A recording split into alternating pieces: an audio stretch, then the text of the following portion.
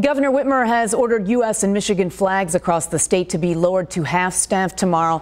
It is to honor the life and service of Melvindale police officer Mohammed Saeed, who passed away in the line of duty. Saeed was shot and killed at a car wash Sunday morning. Michigan residents, businesses, schools, local governments, and other organizations are also encouraged to display the flag at half staff the flag lowering will coincide with the day of Saeed's funeral. Flags should be returned to full staff on Saturday.